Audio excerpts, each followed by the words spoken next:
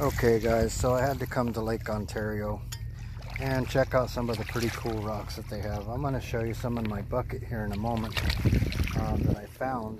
And so you don't have to sit there and be with me for like an hour or two, you know, looking for these rocks. But when I look for them, this is, this is kind of what I'm looking for, some of the ones that are like that.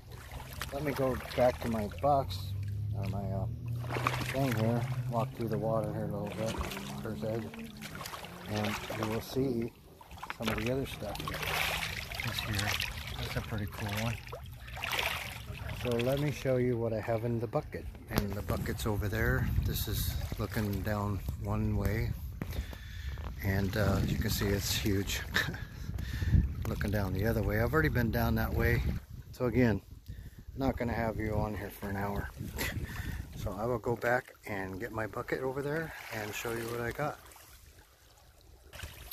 Okay, so I'm going to pull these out of there for you so you can look at them. But like this one, you can see in the sun here, fossilized. Um, these are fossils. Um, but anyways, this one was pretty cool. I had to show you that one.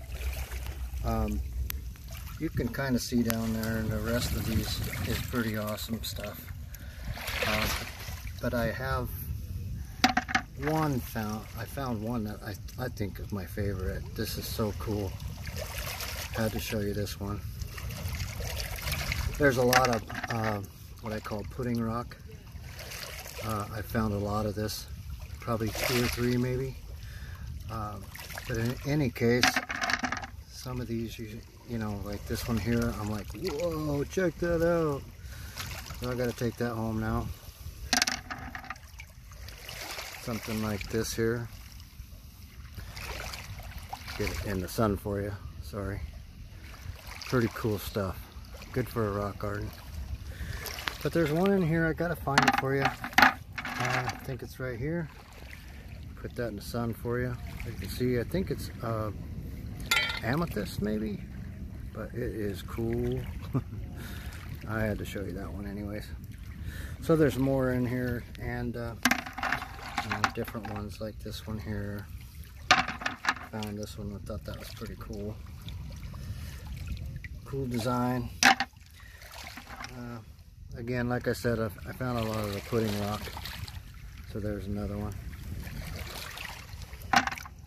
And a lot, a lot of the gneiss there's some jasper in here that I found, a couple pieces.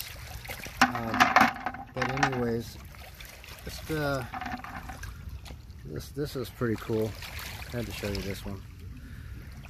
So again, this is just uh, about an hour and a half walking around. This is what I found. So anyways, Lake Ontario, pretty cool. Still got to go down that way. I'll talk to you guys another time.